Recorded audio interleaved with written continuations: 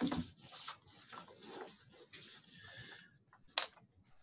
good afternoon, everyone. This is Mark Skidmore. I'm the director of the North Central Regional Center for Rural Development, and welcome to today's webinar. Um, today we have Joel Salatin of Polyface Farms as our guest, um, our guest webinar speaker. And um, before I introduce him, I just want to um, talk for a few minutes about the motivation and why I thought this would be a, an excellent presentation. We're very glad to have um, you here, Joel. Um, but we know that yeah, yeah. Um, we, we know that um, farm bankruptcies have, have been continuing. In 2018, we had um, 500, um, about 500. We know that farmers are struggling with low commodity prices. Uh, here in the Midwest, the, the flooding and other kind of disaster events, um, relatively high debt loads. Some of this is being driven by um, high farmland uh, real estate prices, about of that 409 billion dollars of debt 251 billion is for real estate. Um, so there's a relationship there. We know also that we're increasingly um, um, farmers are to some degree getting squeezed through the distribution network to retail. Um, we also know that um, uh, the male farmer suicide rate is about as high as it is for veterans, about, about 30% higher than the national average for men. So there's a lot of stressors. And um, here uh, today, we're going to talk about, uh, or Joel is going to talk about Polyface Farms, um, which is in the Shenandoah uh, Valley of, of Virginia. Um, the, and I'll, I'll let him talk in more detail, but he and his family, over the course of generations, have taken a worn out, eroded, abused farm and built a successful, more sustainable, emotionally, economically, and environmentally farm structure. Um, and so I thought, you know, looking for other models, maybe this was a framework or a model that some of our struggling farmers could look to as an example. Um, Joel is also the editor of the Stockman Grass Farmer. He's a columnist and writer for the Pitchfork, Pitchfork Pulpit and Acres USA. So with that introduction, I'd like to pass it on to Joel. And again, Joel, thanks for being here and sharing your thoughts. Well, thank you, Mark. It is a truly an honor and a privilege to uh, to be with you. I don't I don't take it lightly, and I I really uh, appreciate it and hope we'll um, share something that's that's encouraging. The, um, the the I guess where I would like to start is um, just to describe a little bit. Obviously, folks there can see pictures of what we do at our farm, and um, uh, if we look at infrastructure, our, our infrastructure, we want our infrastructure to be mobile, modular, and management intensive. Now, the, the first two are pretty obvious there. You know, it, it, by being mobile, it means that we can farm all these things that you're seeing on that picture. You don't see great big buildings, stationary buildings. Uh, it's all mobile and lightweight, which means it can be moved around, which means that the farm enterprise can be divorced from land ownership. So these enterprises can be dropped in, placed in uh, land that you own, borrow, lease, uh, or have any other kind of a, a, a management agreement to be on. Uh, that's a that's a game changer because, as you said, Mark, the single biggest impediment to um, to either farm expansion or succession or even entry, either any of those three, the biggest impediment is the price of land. So if you don't have to own the land and you can build mobile infrastructure on on land that you don't have to own, it, it, it changes the capitalization cost dramatically. Another nice thing is that mobile infrastructure doesn't require building permits. and uh, so you don't have as, quite as many licenses to deal with or, or zoning or whatever. Hey, Secondly, Joel, Joel, mod- Joel, before you continue, I just wanted to check with uh, um, with the participants. Are you getting a flickering on your screen? You can type in the Zoom chat. Yes. Yeah. Uh, Rosa, will you please take off the, the screen share because it's it's a little distracting and for some reason we have that technolo technology. I think people have an idea of some of the things that you're engaged in. And also uh, for the group, if you do have some questions along the way, please feel free to include it in the group chat and we'll have time for discussion uh, at the end as well. sorry to interrupt. I just wanted Sure. to No, get rid of that distraction. no problem. Yeah, it, it, it was uh, distracting. You're exactly right.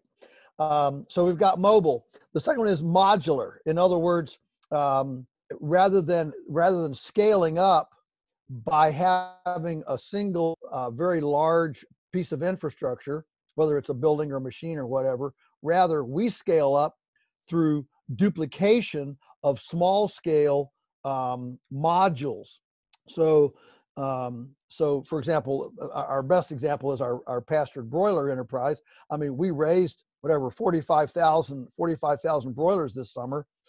Uh, we have enough covering that's equivalent to a Tyson chicken house, but it's actually 200 10 foot by 12 foot field modules so that we were able to start with one for basically pocket change, retain the profit, build another one with retained earnings, no debt, and we were able to scale up our production um, without all the upfront capital cost. So, so, so cash flow can be used to scale up because it's modular. That's that's that's another big deal. And then finally, management intensive, wherein and, and that's where our detractors quickly uh, point their fingers and say, "Yeah, I knew there was a catch here. What you do requires more farmers." And and I say, yes, guilty as charged because we have uh, strategically chosen to substitute pharmaceutical intensity, capital intensity, and energy intensity for people intensity, and we think that's a fair trade.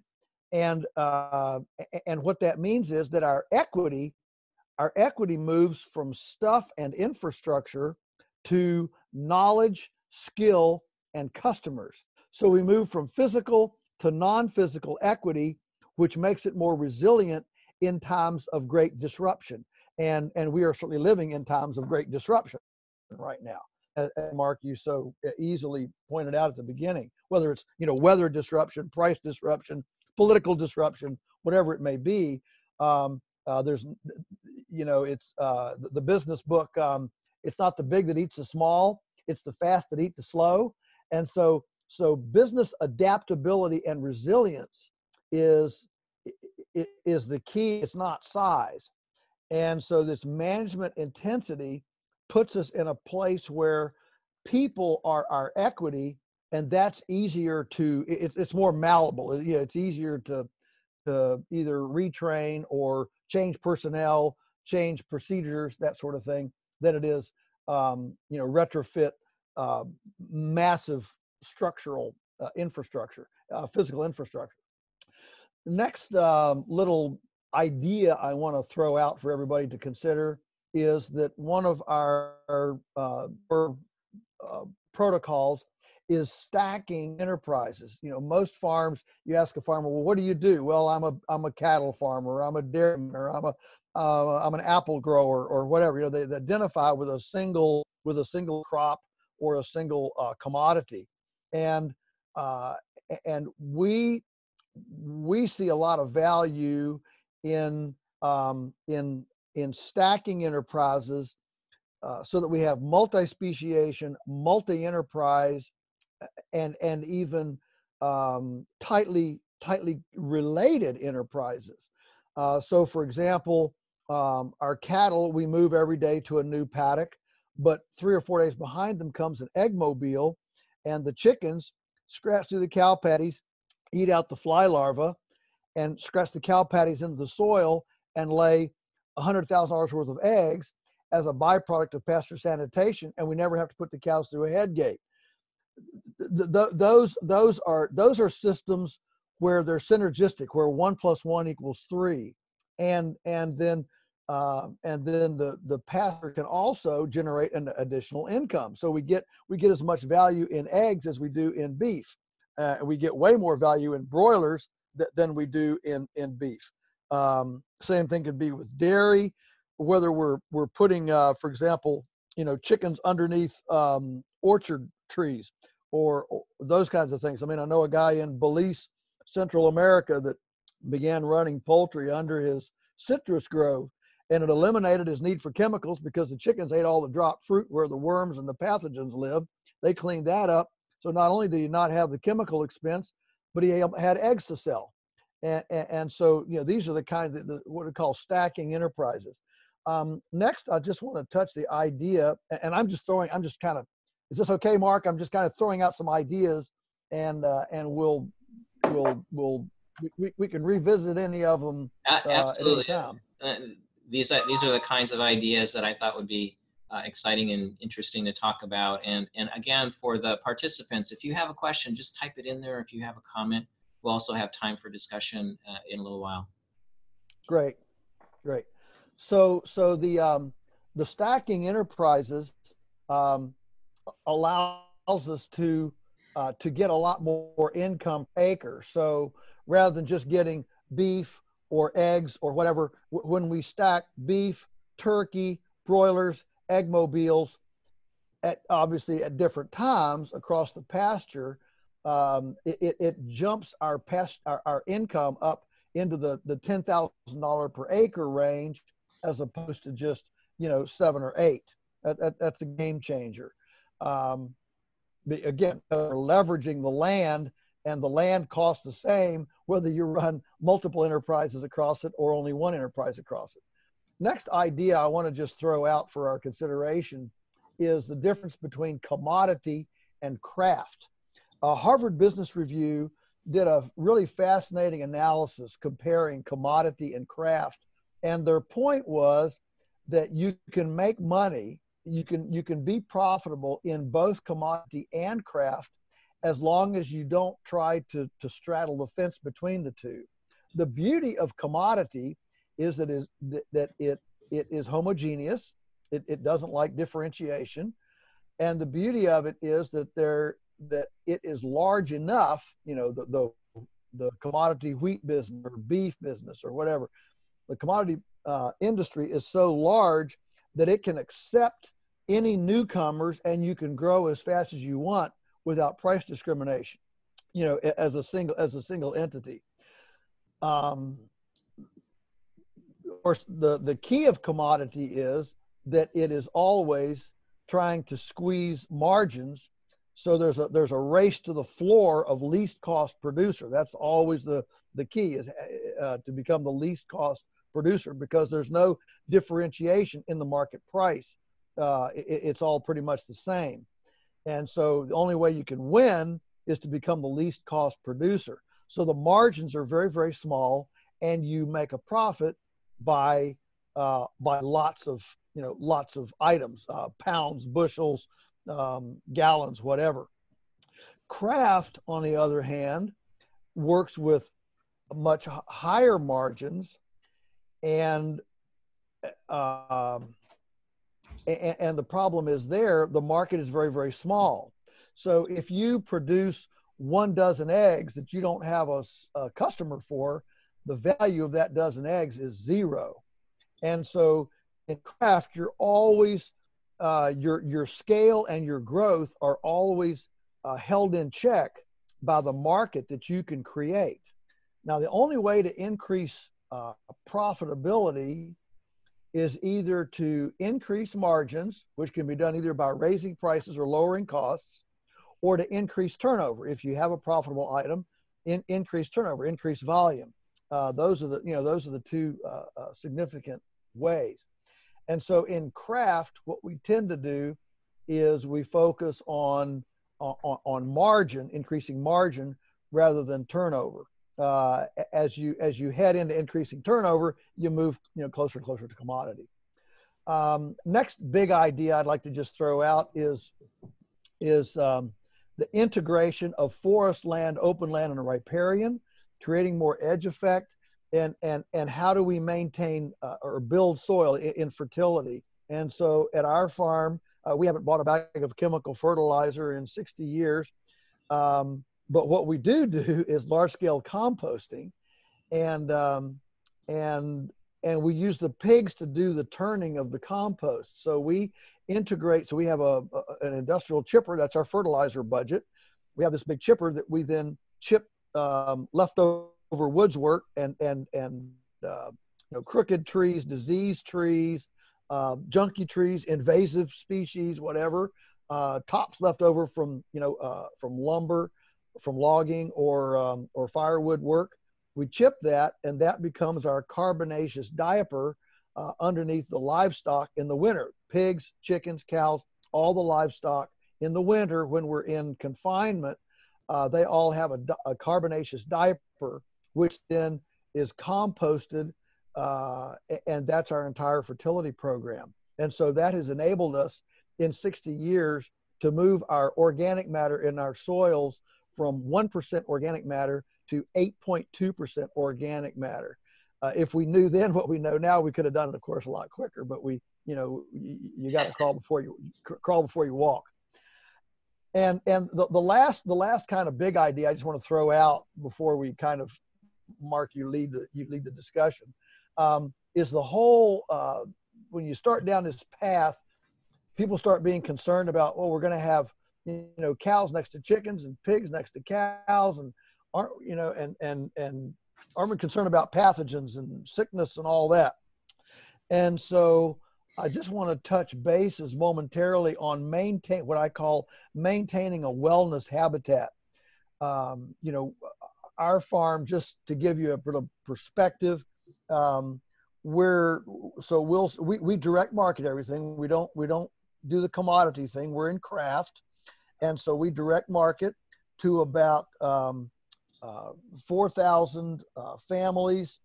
We do um, urban drop points and we do ship now nationwide.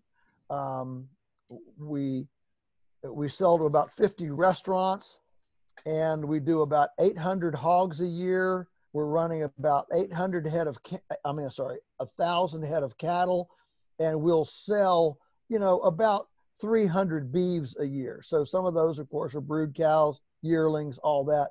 Uh, but we're selling about 300 beeves a year, and then um, and then, uh, like I said, this year we did about 45,000 broilers. We do about uh, we have about 4,000 layers, uh, laying hens. So we're doing a you know 100,000 dozen eggs a year.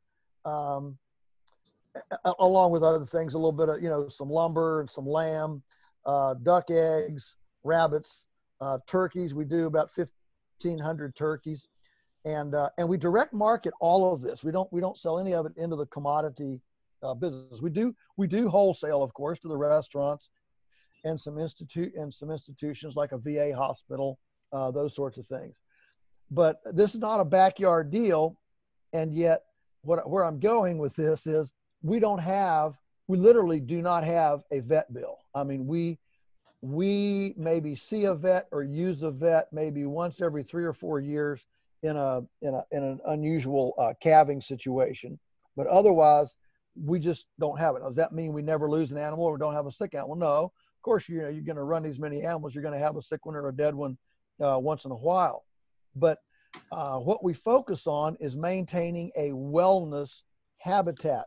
Now, there are two ways nature maintains wellness. One is with rest and sunshine. So that's kind of the pasturing idea where we're moving these animals. So all these animals are, are out on pasture. We move them every day to a new uh, paddock. And, um, and, and, and so there's a, there's a long rest period before they come back. Like the broilers, the broilers are only on a given um, a given square foot of ground one day a year. So it has a whole year to um, you know to to rest uh, before uh, before broilers come back on that.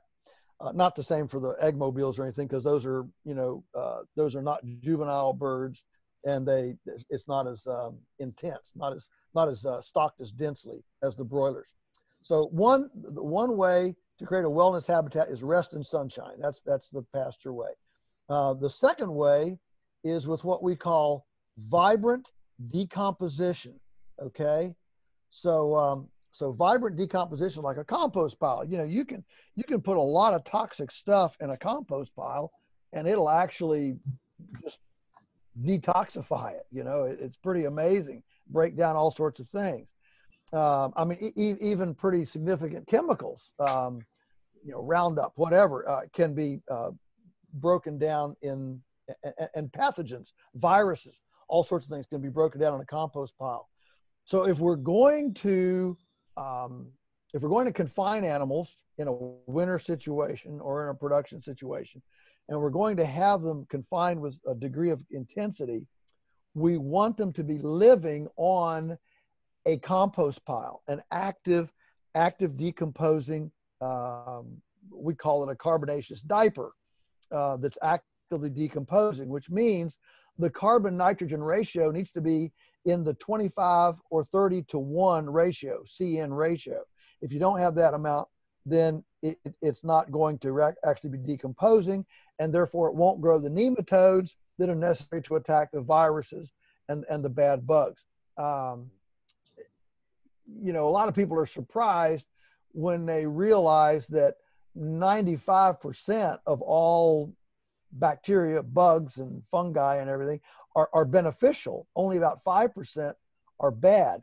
So the key is not ster- uh, uh, sterility, the key is active decomposition. And I make this point, I make this challenge uh, strongly because, uh, because in the winter, I'm not opposed to bringing chickens in to more confined, you know, environmentally controlled facilities. Uh, we get we get snow. Uh, it gets very very cold, and it gets pretty pretty uh, uncomfortable for them in the in the winter, uh, as well as the pigs. Um, and so so there's nothing wrong with at least short term bringing stock in for protection, um, but they you never want them to be on concrete, on slatted floors, or anything like that that can't grow this this this sponge of biological activity that is the key for creating a habitat in which there's enough good bugs to beat the bad bugs. And so uh, so that moves us to this whole uh, that's closely linked to this whole fertility and carbon discussion is that you know on our farm uh, even though we're not that big a place uh, we probably you know we use somewhere between oh, uh, you know, 20 and 25 tractor trailer loads, if not more, of wood chips a year in all of this carbonaceous bedding with the pigs, the rabbits, the chickens, the cows, and everything. And, um, and, and that then is our fertilizer budget, which then feeds the soil compost, organic matter. It keeps the animals healthy when we do have to confine them for, for whatever reason. And and it, it, it then doubles up not as a, a waste stream toxic liability, but it actually comes out as a beautiful um, uh, positive compost that then builds the soil. And so th- those are those are just a, few of the big ideas, and uh, we can go anywhere the discussion would like to lead. But those are just some big ideas. Well, okay, Joel, let's uh, let's stop there for a few minutes and um, and invite the um, the participants to offer up a question um, in the chat. Um, while we're waiting for people to type in their questions, I I was you know thinking about uh, two pieces. Um, the first is uh, how do you build your your direct marketing network, and then the second is is how would somebody uh, who is a farmer who wanted to diversify and begin moving in this direction, what are some initial first steps to take um, to head in this direction if they wanted? Oh, those are uh, those are great questions. Uh, so, so um, is it okay if I take the if I take the um, second question first, initial first steps before sure. we get into marketing? Yeah. All right. Uh, so, so initial first steps. So, um, you know, we talk a lot about climate change today. Well, the hardest climate to change is the climate of the mind, and and so the the first the first step is to begin becoming immersed in what I would call the innovative or alternative um, agriculture media, uh, and and you're, you're gonna you're gonna certainly find some stuff down at the extension office but um, uh, I, am to promote you know what i call the alternative um, a lot of the alternative stuff out there, and I'm, I'm not at all trying to demean the extension agents, uh, but one of the limitations of the extension agent uh, advice is that it has to be um, whatever you know double blind come out of research projects that sort of thing. And the kind of things i'm describing too often uh, they don't have seed money to sprout the research project. I remember um, you know 40 years ago a bunch of uh, phds from virginia tech came up to see what we were doing.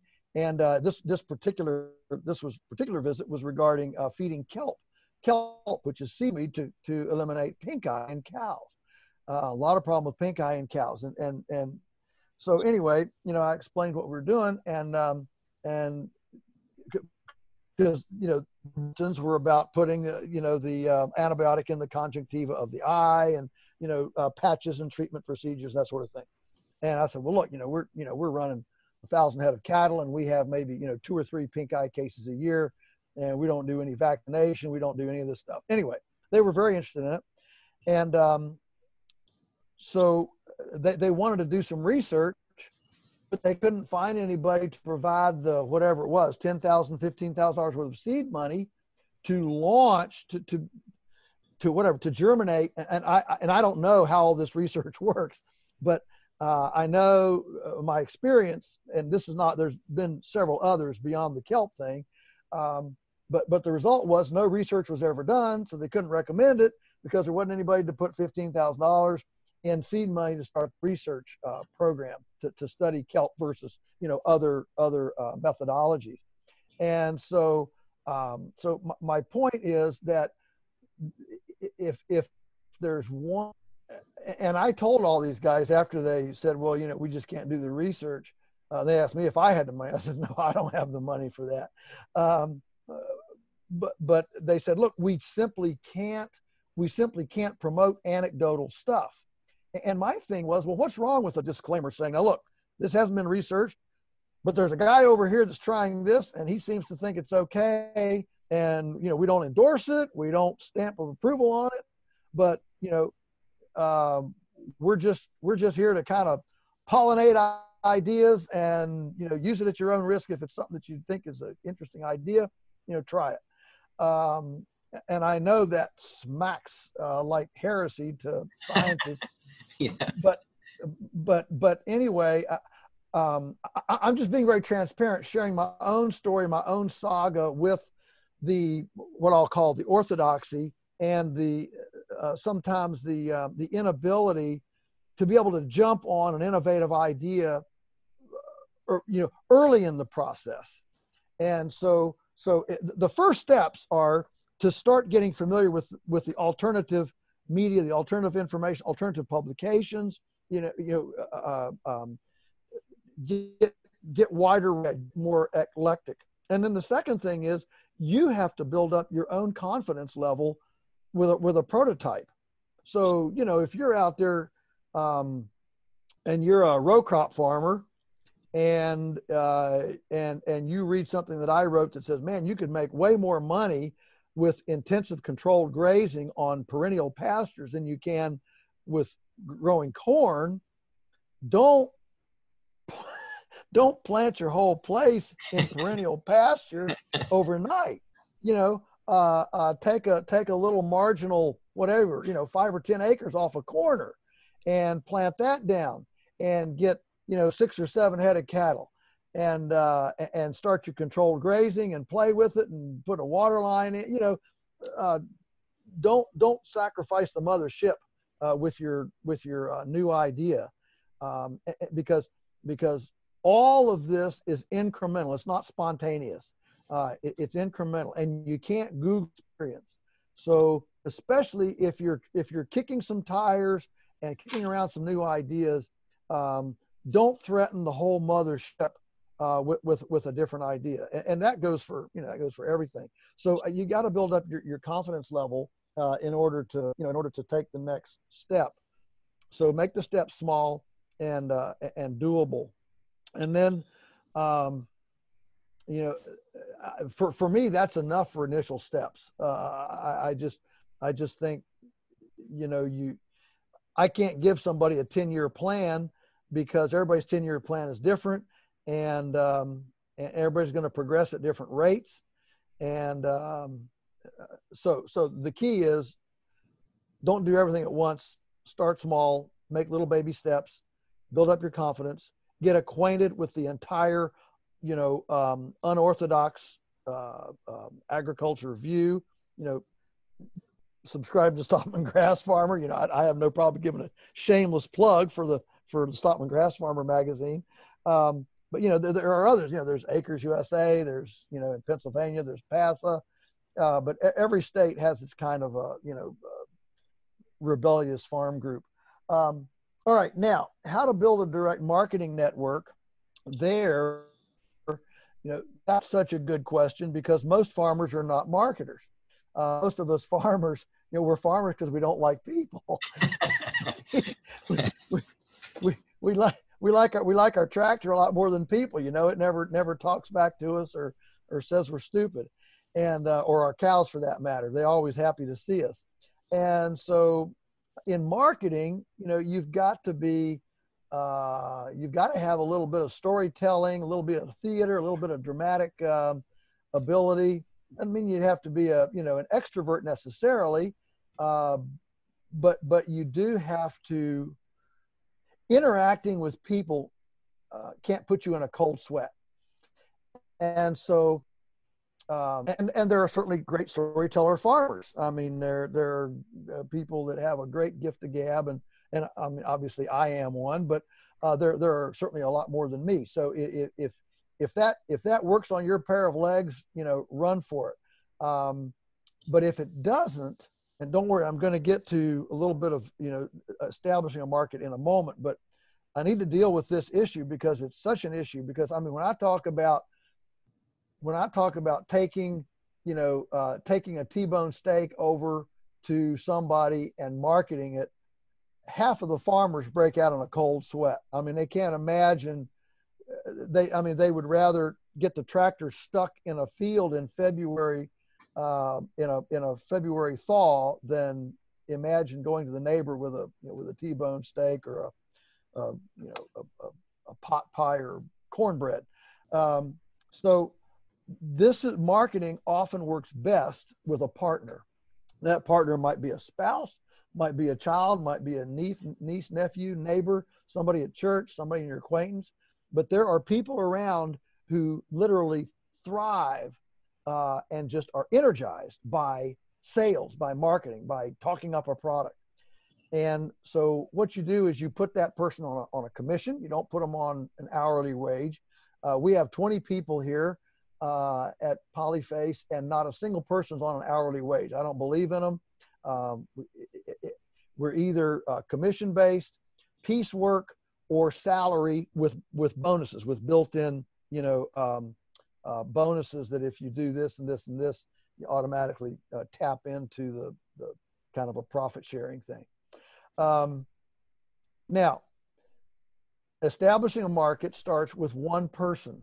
A couple rules of marketing. Uh, one is start with one. Well, who's that one going to be? It's going to be the. It's going to be your tribe. Well, who's your tribe? Your tribe is going to be people who think and eat whatever you're selling. Uh, like for me, for me, we we sell. You know, we're not organic certified. We're GMO free, pasture based. So we're we're definitely food crafters. We're in that food craft business. So you know what? Um, I would I would market to people who uh, eat their food out of uh, the Sheetz uh, gas station. Okay, that, that's not my tribe. And so you have to identify who's your tribe, who are the kind of people who would buy into what you're doing. If you're going to do a you're going to do a corn maze, uh, you know, for, do agritourism, for example, you're not going to go market that at the local nursing home. and I know disparagement on old people, okay? But you're going to go market that at the local daycare center, right? That's who's going to come out to your corn maze or your pumpkin patch or agritourism. So you got to think about who, where's the tribe that's going to buy this? And then you need to get your messaging, you need to messaging correct. Marketing is all about solving somebody's fantasy or somebody's problem. Uh, so either people are fantasizing about something or they have a problem they want to fix. And so uh, this is where Mark um, um, Simon Sinek, I'm, I'm sorry, Simon Sinek, uh, and his book Selling the Why is so important. He said, you know, most of us, when people ask, they, they want to know what we do, we can tell them what we do. Um, the next step is to tell them how we do it. But if you can ever explain the why, that's what people buy. People buy the why, they don't buy the what and the how. And so in this messaging, we have to frame the why in a way that either feeds their fantasy or solves their problem. And if you can identify the fantasy or the problem that you're that you're uh, feeding, then that will help you zero in on your on your messaging, and um, and that'll find your tribe, and then you're up and running. Well, that's a, a great uh, response to both questions. Thanks. Uh, are there some questions uh, from the audience that you'd like to add? Um, also, I, I, think we're a, a, small enough, intimate enough group that if you just like to ask a question, you can just unmute your your um, audio there and, and ask it if you'd like. Yeah, Michael Darger here.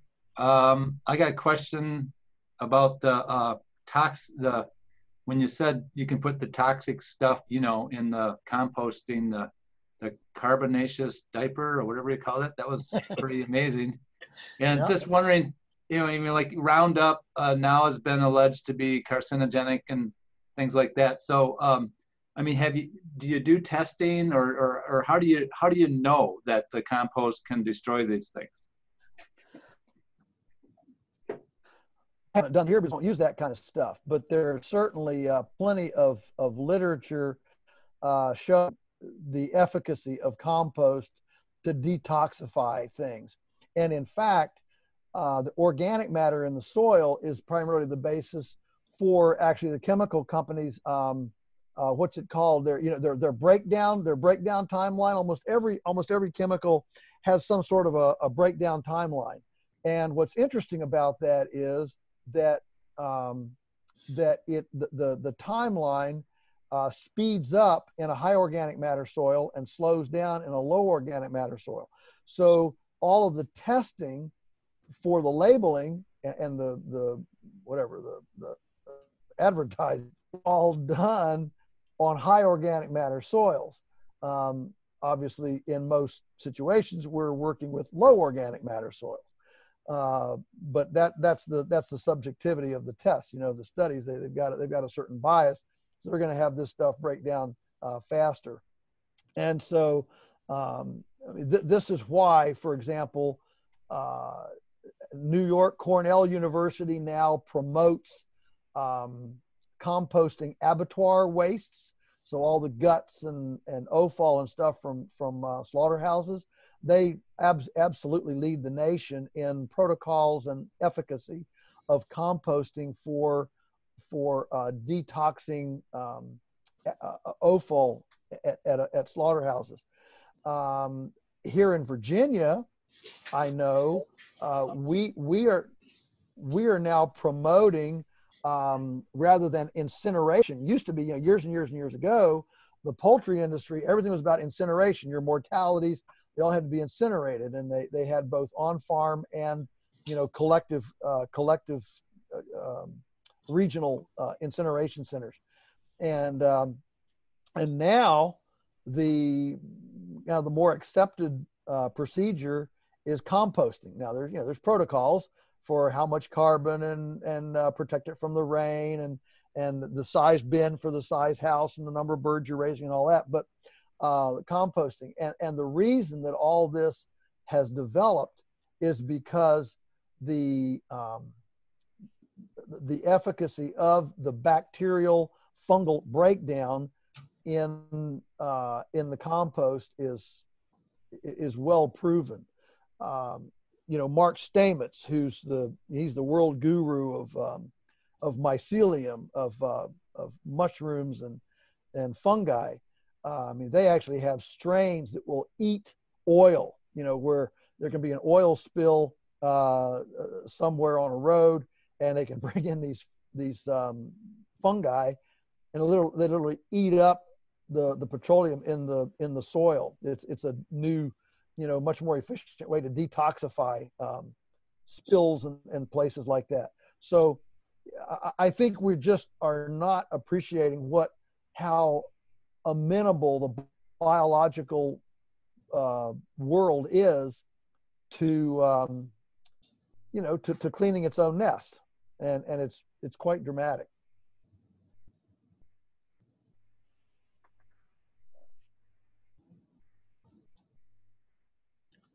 Would anybody else like to ask a question?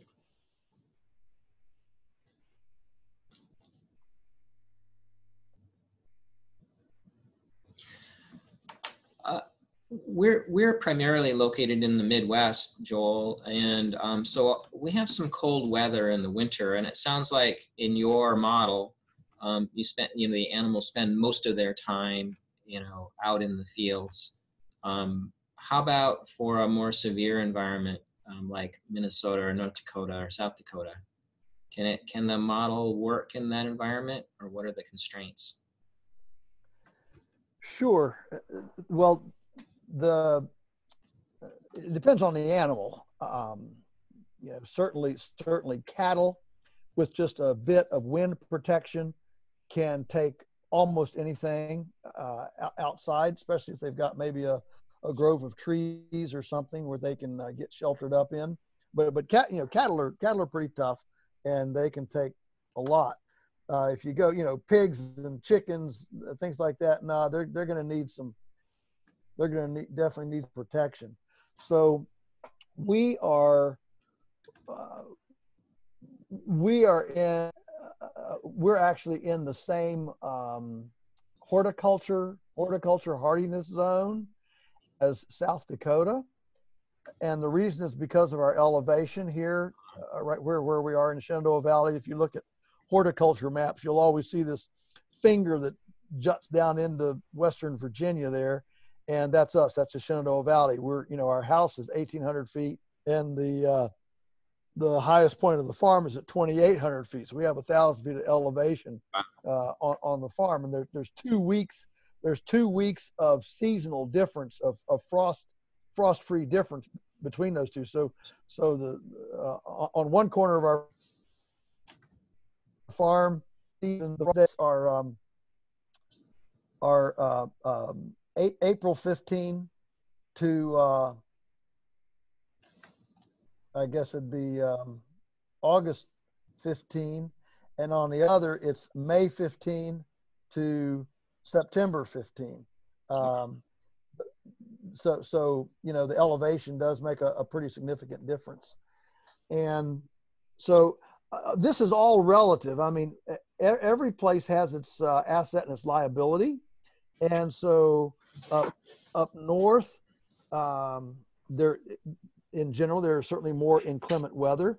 So they might be uh, inside a little longer, which simply means you're going to develop more compost, but it also means that in the summertime, you're going to get pasture regrowth much faster than us down here because you get long, you get longer, um, more sunlight in the day because of the tilt of the earth.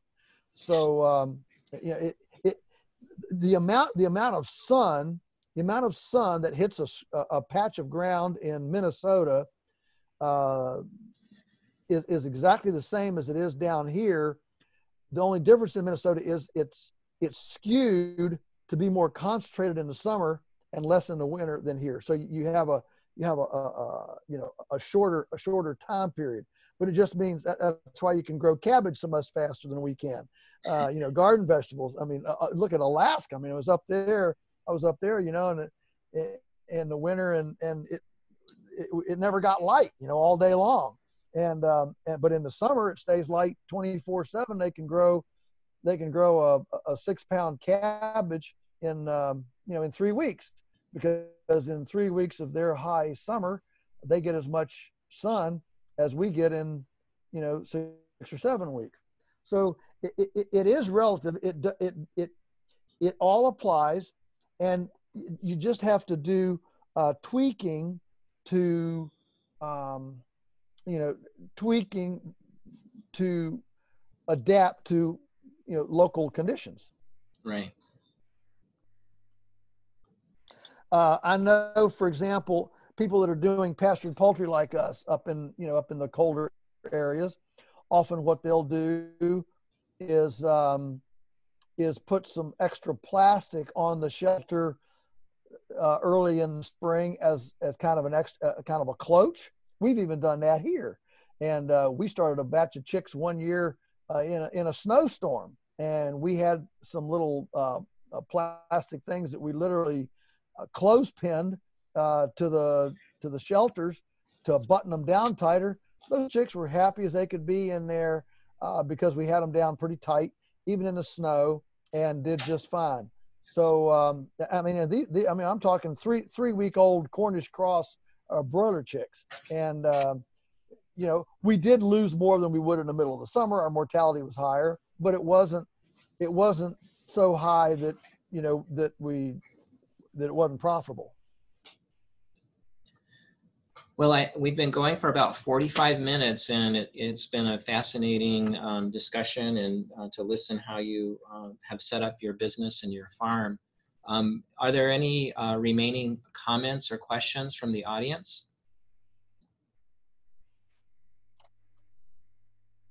Just yeah, I'll chime in here. Uh, Bill Hendry, and I'm with MSU Extension. I'm a district director, so probably less qualified to to make any comment or ask a question about the technical aspect, but I think Joel is correct about that the difficulty that we face in extension uh, in needing to to promote research uh, backed at minimum um, information and make sure it's accurate, which is very important. So, I mean, I think the if if he has any thoughts, if you have any thoughts, Joel, on how we can bridge that gap so that um, maybe we can make headway. I mean, I know with extension, and I don't know who else is on the call, but we've got our grass-fed herd up uh, in the northern part of the state. A lot of research is being done there, but just some thoughts on bridging that gap. Wow, that is a great a, a great um, question. I, I, would simply um, I'd say a couple things.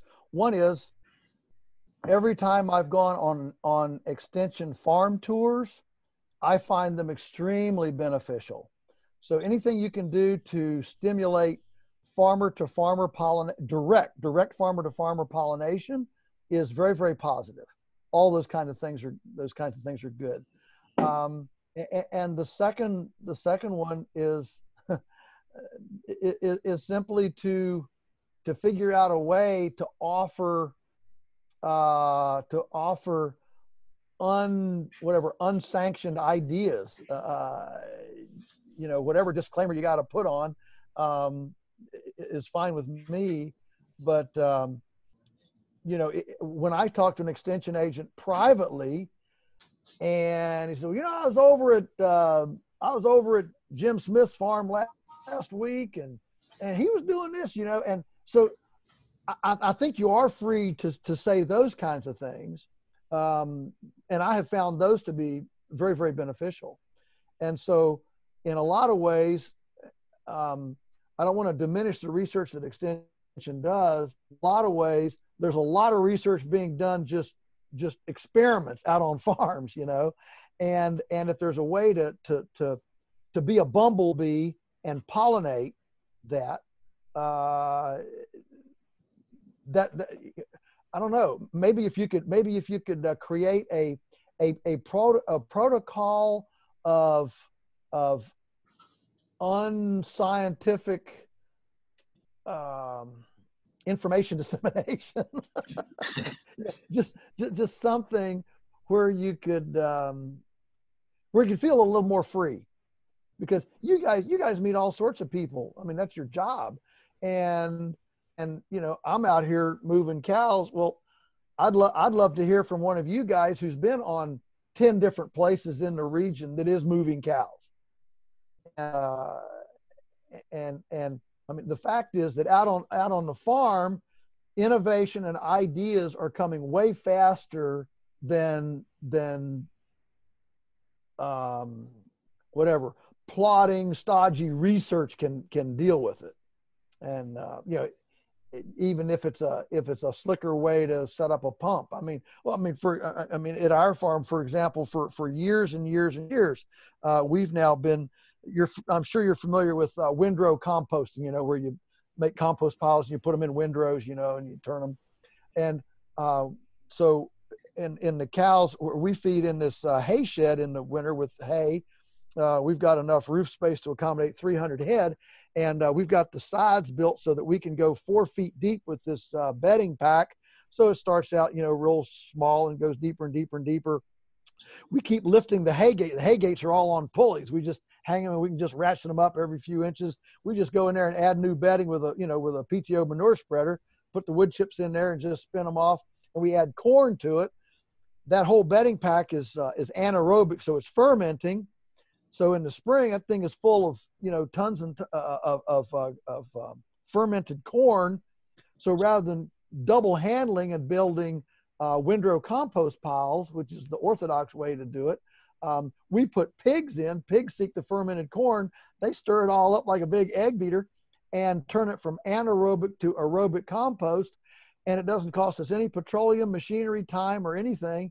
And then we spread that on the fields as, as wonderful, wonderful compost um, you know, that that is an example of a of a low cost, animal driven, innovative way to do something that the orthodoxy takes a lot of machinery, petroleum, and time to do. Um, and and the fact that even even the extension agents who have been here and who've seen it and said, "Wow, that's really cool," the fact that they feel unable to speak about it, even even it, it, it it's just a bummer. and, I, I don't know I don't know what the answer is, but uh, but um, it would sure it would sure be neat to see a little more um, freedom because because in private conversations, I know that a lot of extension agents are just full of really cool ideas. They've been all these interesting, cool places, and they got this stuff to share. But you know, it, it can't go any any official publication and be widely disseminated, uh, official officially disseminated, um, without additional scrutiny. That's a great question, Bill. Thanks for for asking that. Really good question. And, and, and you know, I'm I'm a a researcher as well, and and we try to you know try to have that rigorous process to evaluate. And it really is true that sometimes we don't have the funding um, that is needed to do the kind of formal research so that we can say something in a formal way. And so that that's a you know that's a valuable resource right to have a research base in the documents that you share. But it is also um, a potential limitation especially if there's just no funding available to to do it. And some sometimes there's not a lot of incentive to to fund um, this kind of stuff because it doesn't it requires only your own ingenuity to do. It doesn't require you know right. that you buy anything in order to do it Right. Right. Well, I, I know we've kept you for almost an hour, Joel, and I really um, thank you very much for a really informative webinar. Appreciate um, your time. And um, we've posted um, or just again put the link to your website, Polyface Farms, so others can yes. have a look at it. I don't know if you want to say anything about that um, before we close off. Well, I mean, just that we we try to keep that uh, current, and it's got a lot of um, you know a lot of links and a lot of different things in it. I um, you know I do a daily blog um, as well as editing the Stockman Grass Farmer. So I, I, I my pen is uh, I'm now about about a 50% farmer, 50% farming, and 50% uh, informational. But um, uh, yeah, that website will will get you in touch with you know other materials that we might have or support or whatever. Mm-hmm. Yeah. Okay. thank thank you thank you so much for this opportunity and and I, I am delighted to to share and um, and and honored to have this platform. It doesn't it doesn't come every day, and uh, so this is this is the kind of bridge platform um, that that when when Bill asked the question, uh, the fact that Bill that you're on this webinar uh, means to me that you're one of the bridge builders, and so um, keep building. well, we uh, again appreciate your time and your thoughts, and um, again, thank you, and we will hopefully we'll talk again soon. Yeah. Thanks, everyone. Have a good afternoon. Thank you.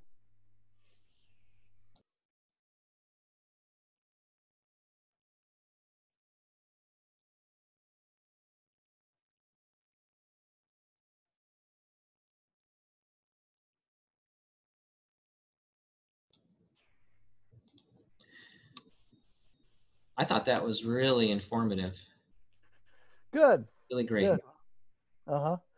And I, I think I think you're you're right. I mean, a lot of good research comes out of the um, through the university system, but if you can't get funding, even if it's a great idea and it's a model, and so I, you know, I, I